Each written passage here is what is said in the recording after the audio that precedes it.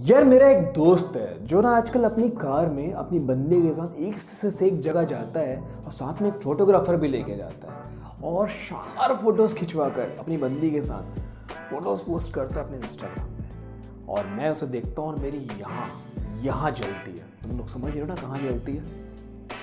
तो दिल पे हाथ रख कर बताना, क्या तुम लोग के साथ भी ऐसा होता है? अगर हाँ तो बहुत बुरे फंसे हो बेटा। नमस्ते है जी, मैं हूँ मयंक धरेवान, आपका अपना हैप्पी वाला हीलर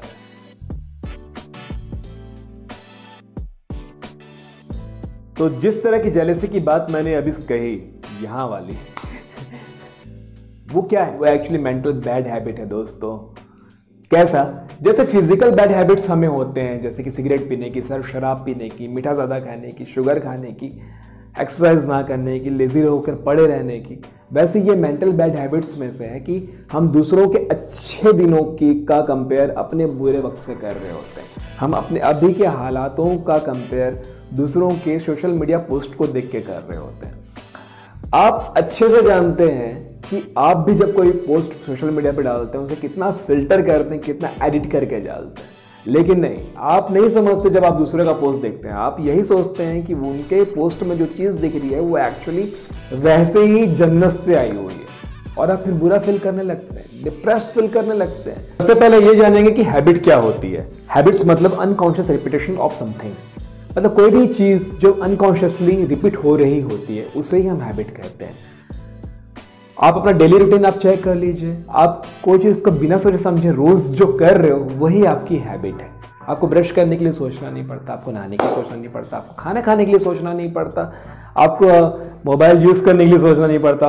आप टाइम देखने के लिए मोबाइल उठाते हैं, फिर आपको कोई नोटिफिकेशन दिखता है फेसबुक का वो चेक करते हैं, फिर इंस्टा का नोटिफिकेशन फिर व्हाट्सएप का नोटिफिकेशन समटाइम्स तो ऐसा भी होता है कि सारी नोटिफिकेशन तो हम चेक कर लेते हैं टाइम देखना ही भूल जाते हैं। सही है ना? तो आज हम तीन तरह के मेंटल हैबिट्स की बात करेंगे, जिसके बारे में हर इंसान को सोचना ज़रूरी है। अगर आप सक्सेसफुल होना चाहते हैं लाइफ में, किसी भी फ़ील्ड में, किसी भी तरीके से, आप हैप्पीनेस को चाहते हैं, आप अपनी लाइफ में पीसफुल लाइफ चाहते हैं तो आपको ये तीन तरह की मेंटल हैबिट्स को डेवलप करनी ही होंगी।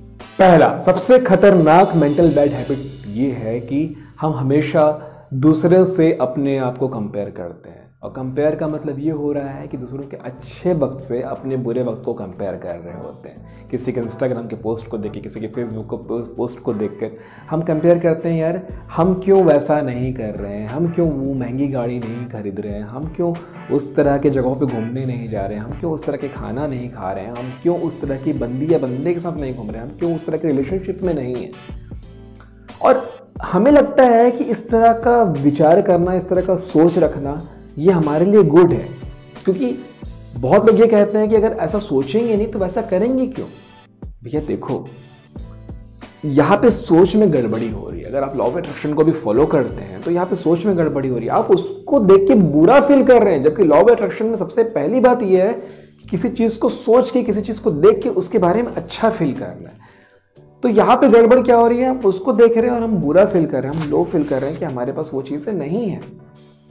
और ये ना दिमाग का बेसिक कल्चर है। समझना है इसको। वो किस कोई भी चीज़ को देख के उसके बारे में इस तरह से खो जाना सोचना, सपने संजोना, ये ना बहुत इजी है उसके लिए। बिल्कुल वैसा जैसे आइसक्रीम खाना हमारे लिए बहुत इजी है। टेस्टी है। कि आइसक्रीम लिया, मुँह में रखा, वो खुल गया अनहेल्दी है ना लेकिन। और कोई हेल्दी चीज़ को चबाना पड़ता है, मेहनत करनी पड़ती है। टेस्ट भी अच्छा नहीं होता है। जनरली यही होता है ना हेल्दी चीज़ों का टेस्ट अच्छा नहीं होता है। है ना? तो ऐसे ही ये खराब आदतों को हमारे अंदर से निकाल के फेंकना हो सबको। दूसरा, इसी से आगे का, कि जब हम किसी और के बारे में सोच रहे हैं, जब भी किसी के अच्छे टाइम के बारे में सोच रहे हैं अच्छी लाइफस्टाइल के बारे में सोच रहे हैं तो सबसे आसान तरीके से हमारा दिमाग कैसा बिहेव करता है? यार, उसकी तरह हो जाओ। मज़ाक है? उसकी तरह हो जाओ। भैया, उसने क्या स्ट्रगल किया है? उसने कितनी मेहनत की उसने कितना चीज़ सहा है, उसने कितनी स्टडी की है, ये नहीं देखना है, बस उसकी तरह हो जाओ। और जब उसकी तरह नहीं हो पा रहे हैं तो डिप्रेशन आ रहे हैं एनजाइटी आ रही है। हम मेहनत कर रहे हैं, किसी भी डायरेक्शन में मेहनत कर रहे हैं, हमको पता नहीं हमें क्या करना है, लेकिन उसकी तरह होना है, उस फ़िल्म स्टार की तरह होना है, उस सेलिब्रिटी की तरह होना है, उस इंस्टाग्राम में दिखने वाले उस बंदे की तरह होना उस बंदी की तरह होना उस टिकटॉक में दिखने वाले उस स्टार की तरह होना है। राइट जा रहा हूँ? सही जा रहा हूँ ना? और अगर जब ये चीज़ें नहीं हो पाती है हाँ इस पर एक और अच्छी बात उसकी तरह दिखना है उसकी तरह बॉडी बनानी है उसकी तरह पर्सनैलिटी बनानी है उसकी तरह गाड़ी होनी चाहिए उसकी तरह मोबाइल होना चाहिए और नहीं है तो क्या हो रहा है? कलेश कर रहे हैं खुद से घर वालों से मम्मी पापा से लड़ाई कर रहे हैं कि मेरे पास ये नहीं है मेरे पास वो नहीं है मुझे ऐसा ड्रेस चाहिए मुझे ऐसे जूते चाहिए मुझे ऐसी बाइक चाहिए ऐसी कार चाहिए। हम्म, चलो घर वालों ने दिला दिया फिर और आगे बढ़ रहे हैं। मुझे इस तरह की दिखने वाली बंदी चाहिए, इतनी खूबसूरत लड़की चाहिए, और अब नहीं मिल रहा है तो उसके साथ कलेश कर रहे हैं। साइकोलॉजी में इस सेकंड नंबर वाले का नाम दिया गया है थॉट ऑफ़ जजमेंट हम हमेशा जजमेंटल रहते हैं। हम किसी के अच्छे और बुरे को देखते हैं और तुरंत जजमेंट ले लेते हैं और फिर सोचते हैं इसकी तरह बनना है या इसकी तरह नहीं बनना है।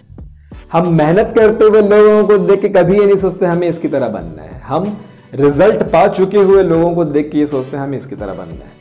मेहनत से जी चुराते हैं सक्सेस को पाने की कोशिश करते हैं। सक्सेस को पाने की कोशिश करना गलत नहीं है, बिल्कुल सही है, लेकिन सक्सेस को पाने को ही लेके सोचते हैं। मेहनत के बारे में नहीं सोचते। तीसरा सबसे खतरनाक मेंटल बैड हैबिट है कि हम दुनिया के बारे में सोचते हैं। हाँ बेटा वैसा वाला नहीं, दुनिया के बारे में अच्छा सोचे ना ना ना ना। हम दुनिया के बारे में ये सोचते हैं कि दुनिया हमारे साथ अनफेयर है। हमने मेहनत की, हमने काम किया हमने बहुत मेहनत की और हम चाहते हैं कि हमें वैसा सक्सेस मिले जो हम सोच के रखें। और अगर वो ना मिले तो हमें ये लगता है कि दुनिया हमारे साथ अनफेयर है। आपको लगता है ये सारे थॉट्स आपको आगे लेके जा सकते हैं? ऑब्वियसली नॉट तो हमारे अंदर कैसे थॉट्स चलने चाहिए? पॉजिटिव थॉट्स सभी बोलते हैं, पर ये कैसे होगा? तो इस तरह के थॉट अगर बार बार दिमाग में चले कि यार, हमेशा मेरी किस्मत ख़राब रहती है, मेरा कुछ नहीं हो सकता, मैं जो भी करता हूँ ख़राब हो जाता है क्या लगता है, ये दिमाग में दवाई की तरह काम करेगा या जहर की तरह? ऑब्वियसली ये टॉक्सिक है।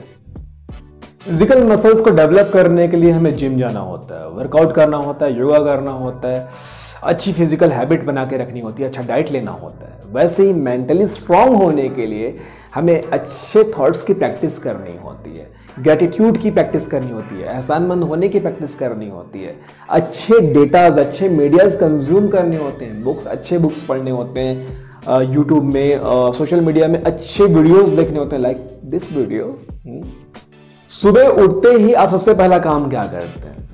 अफर्मेशन से ये सब वो तो ठीक बात है, लेकिन सबसे पहला काम क्या करते हैं? अगर कुछ नहीं करते हैं तो भाई, अगर मोबाइल भी चेक करते हैं तो सबसे पहले यूट्यूब में चाहिए किसी भी अच्छे स्पीकर का मोटिवेशन वीडियो निकालिए, देखिए।